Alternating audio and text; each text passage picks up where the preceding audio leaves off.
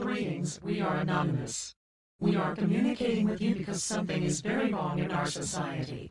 Throughout Europe and America, governments make efforts to restrict free speech at an alarming rate.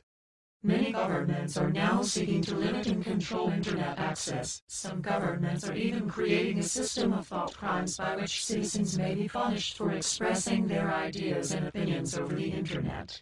In response to this alarming trend, we are issuing a worldwide call to protest. A global week of protests starting on November 1st and recurring annually against any and all restrictions on free speech.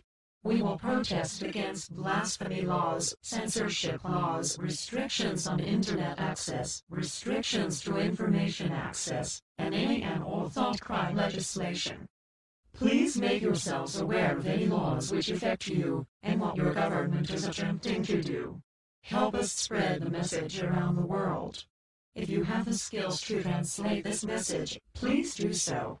Mirror this video and share it with everyone you know. Tell your friends, tell your family, tell everyone you know on Facebook, YouTube, MySpace, Twitter, and any other platform you can use. On November 1st, we make a stand. If you value free speech, you must defend it. You must make a stand. And if you stand with us, our voice will be heard around the world. We are anonymous. We are legion. We do not forgive. We do not forget. Expect us. Join us. On November 1st, join us.